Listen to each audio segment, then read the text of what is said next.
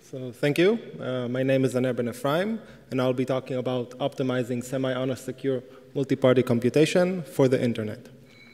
Uh, this is a joint work with Yehuda Lindell and Eran Omri. Okay, so my talk plan is to first give a little bit of background. Then I'll talk, uh, explain the, BM, uh, the Beaver Micali Rogaway protocol. After that, I'll give our OT and BG, BGW-based protocols for the offline phase, and then I'll discuss some of our experimental results. So the idea of secure multi-party computation is that a set of parties wants to compute a function of their inputs. However, they don't want to reveal anything except what can be learned from the output of the function, and some of the parties might be corrupt. So, so there are two main ways to model corrupt behavior. The first is semi-honest corruption, or passive corruption, in which we assume that the corrupt parties must follow the protocol. Okay, but they might try to learn some information from the messages they receive, and they might also collude between themselves for this purpose. The second type of corruption is malicious corruption, in which we basically don't assume anything about the, uh, the behavior of the, of the uh, corrupt parties, and they might deviate from the protocol arbitrarily. Okay, so of course, it's always preferable to protect against malicious, malicious corruption, but in some cases, it's also interesting to study semi-honest corruption. For example, in some scenarios, it might be sufficient if, for example, we assume that the code cannot be tampered with. Okay, another reason to study semi-honest corruption is that advancements made in the semi-honest model often have led to similar advancements in the malicious, model. Uh, in this work, uh, we focused on semi-honest corruption. Okay, so when talking about concrete efficiency, there are two main paradigms for secure computation. Both are circuit-based, meaning that we assume that the function is given as an arithmetic or Boolean circuit. Uh, the first paradigm is the garbled circuit paradigm, such as in Yao's protocol and the Beaver-Micali-Rogaway protocol.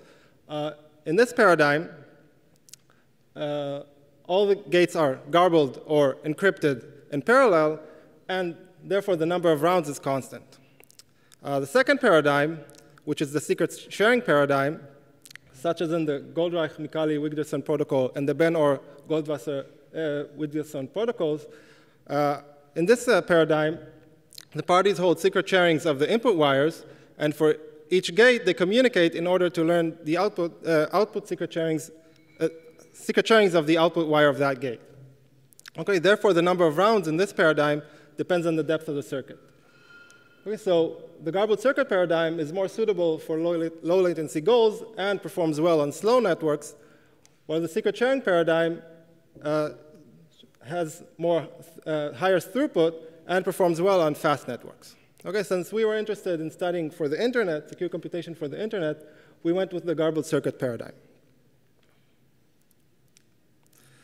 Okay, so I'll just give a very brief and very partial history of secure computation. Okay, so the first implementation was Fairplay just a bit more than a decade ago.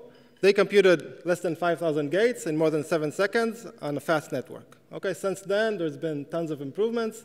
Okay, a long series of works on Yao, GMW, OT extensions. Uh, work from last year by Gurion et al. Uh, measured in computation of an AES circuit in just 16 milliseconds on a local area network.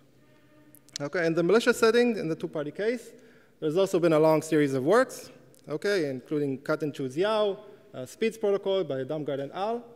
And what I want to note is that work in the semi-honest model has been very significant in the malicious setting. For example, in the construction of more efficient garbled circuits and other optimizations.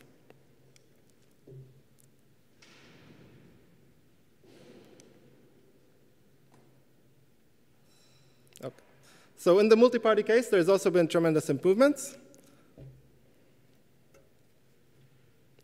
Okay, the first implementation was Fairplay MP, and this is in fact the only circuit-based constant round general MPC implementation.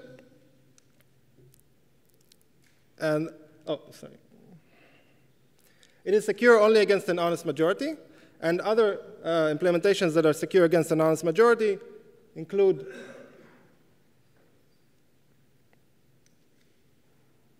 uh, Sepia by Burkhart and al., VIFF by Damgard and al., uh, and others, share ShareMind. Okay, uh, when talking about the semi-honest model without an honest majority, uh, notable work is the GMW implementation by Choi et al. And there's also been a lot of works in the malicious model, including, of course, the SPDZ protocol. However, these implementations in the malicious model are significantly slower than the ones in the semi-honest model.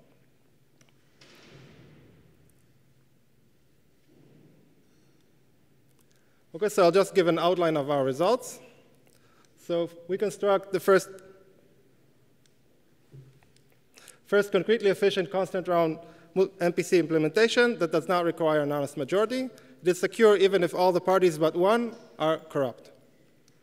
Also, uh, following Fairplay MP, which implemented the BMR protocol using BGW, we also implemented the BMR protocol using BGW, however, much more efficiently, and I'll elaborate a bit on this later.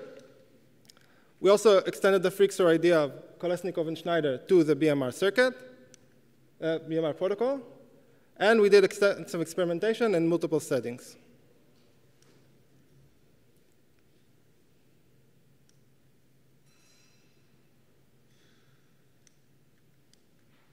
Okay, so now that I've given a, a bit of background, let's go over the Beaver-Micali-Rogaway protocol.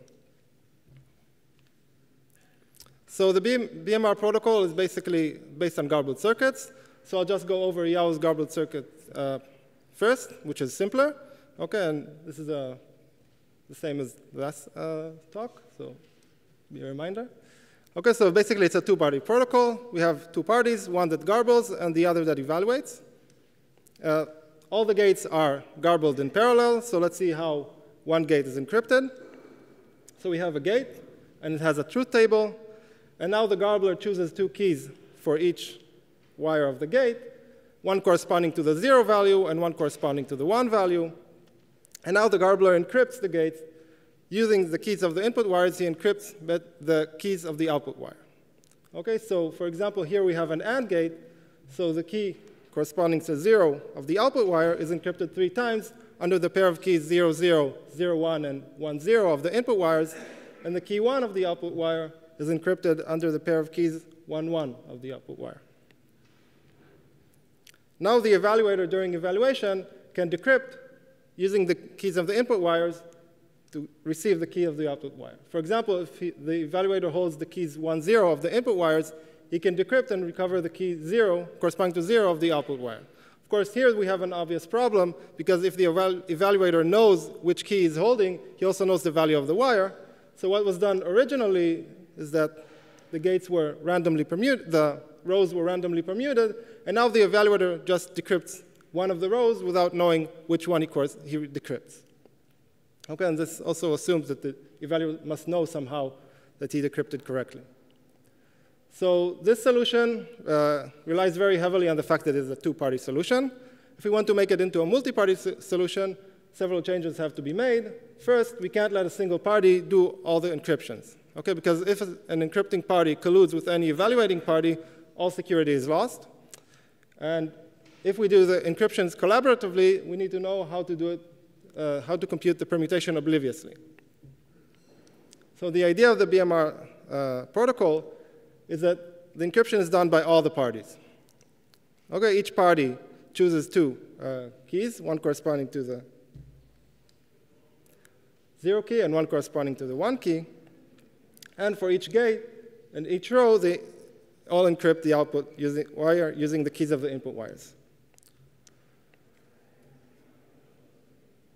Okay, so each key of each party is encrypted by all the parties. Therefore, the total number of encryptions by all the parties is O of n squared, where n is the number of parties.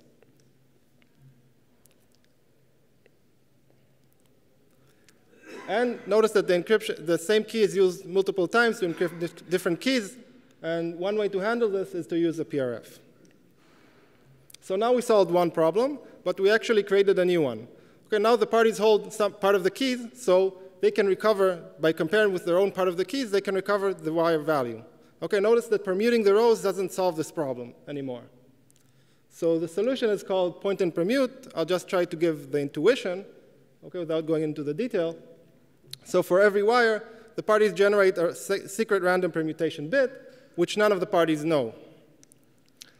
Okay? And what is revealed during evaluation is not the real value, it's an external value, which is the XOR of the real value and the permutation bit. Notice that even knowing the external value, the real value is still random. Okay, now the computation is done according to the external values. The parties can compare their own keys with the keys they see and recover the external value. So they know the external value from these, uh, this comparison, and that's OK. Okay, and the external values is also used to, to decide which row to decrypt. And on output wires, the, the permutation bits are made public. So as I mentioned, the BMR protocol has constant grounds. Uh, the reason is, okay, the primary observation is that once you have the key, all the keys, you can do all the encryptions in parallel. Okay, so you can do all the encryptions and communicate them in parallel, and the encryptions themselves are computed only locally, and that's important as otherwise the depth would be significantly higher. So now to compute, uh, to construct the BMR circuit, you, we use a subprotocol. So if we don't have an honest majority, you can use an OT-based protocol, which is similar to GMW. And if you have an honest majority, you might consider using some information theoretical protocol, such as BGW.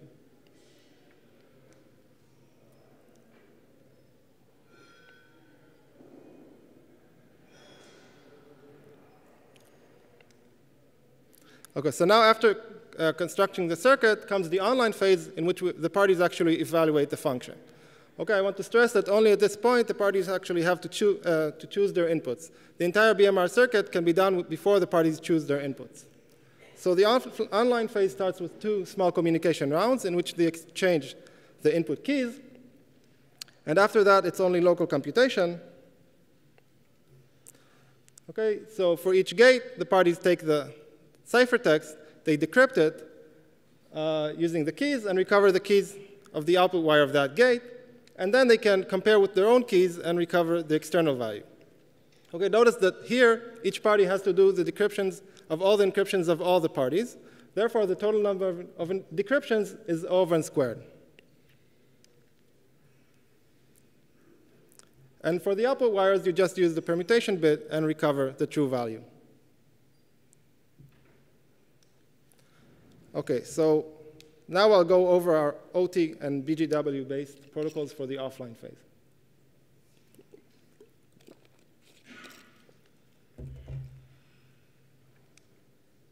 Okay, so first, our oblivious trans I'll go over our oblivious transfer-based protocol. Okay, the main observation is that we only need to multiply bits by bits and to multiply a string by a bit. And when I say multiply, I mean that the result should be a secret sharing of the multiplication. So let's recall how this is done. In the two-party uh, situation, we want to compute the multiplication of the string x times the bit b. Okay, so party P1 has the string x, party P2 has the bit b, and we have this uh, oblivious transfer black box in which party P1 gives two strings x0 and x1, party P2 gives the bit b and receives back the string xb. So how to transform this into a multiplication? Well, party P1 just chooses a random string R, sets x0 to be R, and x1 to be x XOR R. Okay, now party P1 outputs R, and party P2 outputs xb. Notice that xb is equal to R XOR b times x, and this is uniformly random. random. Therefore, this is indeed a 2 out of 2 secret sharing of b times x. Now, in the OT-based protocol, I don't want to go too much into the detail.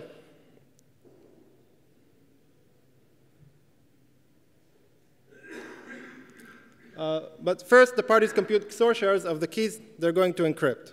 Okay, without going into the detail, this involves just two oblivious transfer rounds. In the first round, they compute XOR shares of multiplications of the permutation bits of input wires of the gates. And this involves just two-bit OT multiplications between every pair of parties for each gate. And then in the second oblivious transfer rounds, they actually compute the XOR shares of the keys they want to encrypt. And this is basically a linear combination of multiplication of the keys with the above shares. And therefore, it can be done using just eight string OT multiplications between each pair. And in our work, we also showed that this can be done using just six multi-string OTs. Okay, some two of these are redundant. And so, yeah. so now the parties hold XOR shares of the keys they want to encrypt. Okay, so after that, they basically compute the garbled gates from these shares. It's just a simple two-step process. First, they XOR their shares with the PRF values and broadcast, and then they just XOR the received broadcast and recover the ciphertext. The reason this works is because the shares are XOR shares. Therefore, when the parties XOR the broadcast, they actually XOR the shares back into the keys. Okay, and this saves us because we don't, that means we don't actually have to secret share the PRFs. However, the communication complexity for each party is quadratic in the number of parties because each party has to send O of n encryptions to n parties for each gate. So now I'll briefly go over the BGW-based protocol. Basically, the parties secret share in a Shamir uh, secret sharing scheme the keys, the PRFs, and the permutation bits, and then use BGW to compute the ciphertext. So again, all the encryptions are done in parallel, and the communication complexity for each party is quadratic in the number of parties. In contrast to Fairplay MP, we worked in a relatively small field, and this is a significant saving. However, notice that even to share the permutation bits,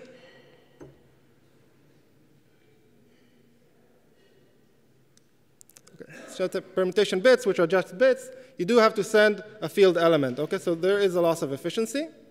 And another thing I want to note, you to note is that you have in this uh, in this scheme you, we do have to share the PRFs.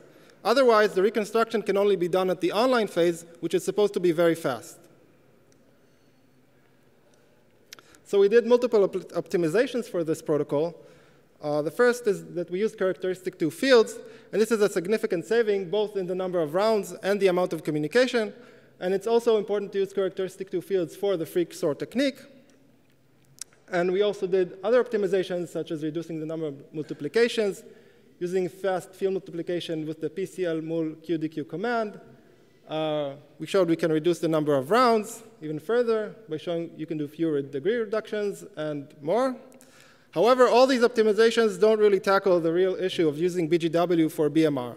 And that is that the BG, using BGW for BMR is computationally cubic in the number of parties. Okay, so all these optimizations are nice, are nice but they don't really tackle this issue okay, that you need to do O of n multiplications, and computing Shamir, scare, Shamir shares is already quadratic.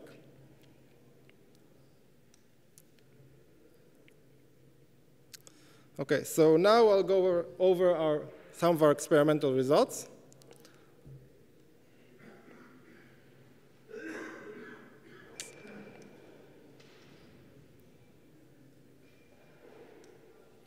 So our code is publicly available on GitHub. It's part of the SCAPI program. We had three settings. Okay, the first setting is an internet-like setting in which we had uh, Amazon machines both in Virginia and in Ireland. And the ping time is approximately 75 milliseconds. The other two settings are low latency settings, uh, one in which we had Amazon machines in Virginia region only, and the other one is a cluster in Crete, which has very low latency. It's part of the Debtor program. So we compared our protocols with each other and also with the GMW implementation of Choi et al. The reason we chose this implementation to compare with is that first, it accepts Boolean circuits, uh, such as the same as our protocol. Uh, second, uh, it's secure up to n minus 1 parties. And the third reason is that experiments done by Choi et al. showed that in, for Boolean circuits, this implementation usually outperforms similar uh, existing implementations, even the ones that require an honest majority. So we did it on uh, several circuits. I'm just going to show one circuit, uh, which is the, the SHA-256, which is our, our deepest circuit. The reason I'm going to show this circuit is because uh, this circuit, the depth, really emphasizes the differences. So first, in the high latency setting, where we had machines in Amazon region, uh, Virginia and Ireland region. Uh, the circuit has and number of ands approximately 91,000, and the and depth is approximately 4,000. With the x-axis is the number of parties, and the y-axis is the number of seconds the, of the, to the total running time in seconds. Okay, excluding the uh, initial setup time. So the initial setup time, which is done only once, and then the protocol can be computed multiple times, is not counted. So we see that in this setting, uh, GMW performs very poorly. Okay, this is because the latency is very high, and the number of rounds, the depth of the circuit is, is also very high. Okay, so there are many rounds, and therefore GMW performs very poorly. And our pro protocols perform significantly better, and even for 13 parties, still over an order of magnitude faster. Uh, the BGW and OT-based protocols perform similarly, with the BGW being slightly faster for the smaller number of parties and the OT being slightly faster for the larger number of parties. Uh, when looking at the online time alone, the, the difference between the two implementations are really enormous. Uh, so don't let the graph fool you because this is a logarithmic scale. So our protocol performs and uh, does the computation in less than half a second, and the GMW, because most of the time is online, actually performs, still takes more than five minutes. Uh, so because the difference was so big, it was also interesting to test it on shallower circuits. So we, we took, we computed on fake circuits with the same number of AND gates, but varying depth. So uh, we see that even for the depth 10 circuit, for the online time, online time alone, our protocol still performs better. Uh, I recall that our protocol has only two rounds in the online phase.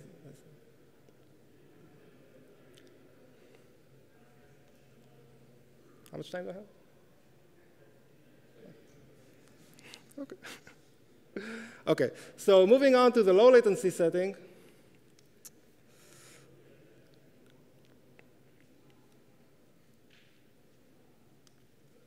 So moving on to the low latency setting, we see that the picture is really completely different. Okay, so here we see that the GMW basically outperforms our implementation. Okay, this, this graph is from Crete, which is a cluster, which has very, very low latency. Uh, we see that in general, GMW just outperforms our implementation, except maybe for three parties.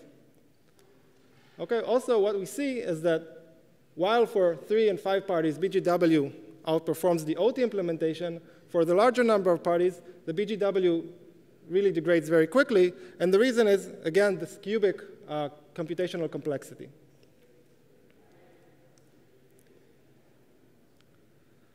And looking at the online time alone shows an interesting picture. Uh, the, pic the, graph on the right is, the, is in Amazon with machines in Virginia region only, and the graph on the left is from Crete, which has very low latency. Uh, of course, Virginia region also has fast, uh, very low latency, but not as low as Crete. So what we see is that uh, also the number of parties here is up to 33, and the uh, scaling is in milliseconds. What we see is that for the lower number of parties, our implementation outperforms the GMW implementation. However, we see that for 33 parties in Crete, the GMW implementation already outperforms our implementation, even when looking at online time only. And I recall that this is a very deep circuit, okay? It has depth 4,000. Uh, in Amazon, for 33 parties, we are still ahead. But if we go, let's say, to 50 parties, we expect that the GMW will already outperform.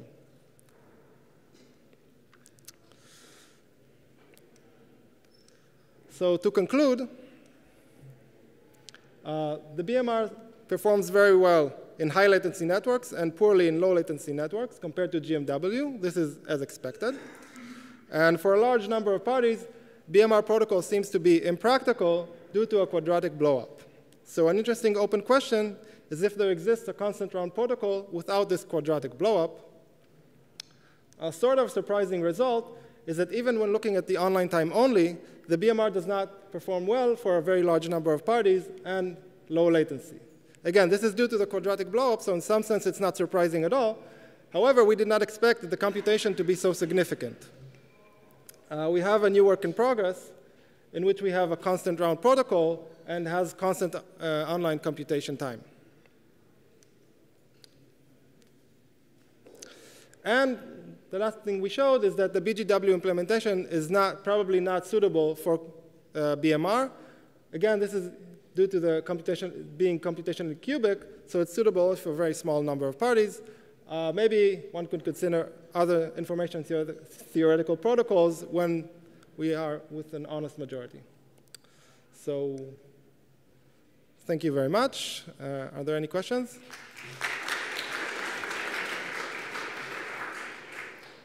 We do have time for questions, so maybe I'll start.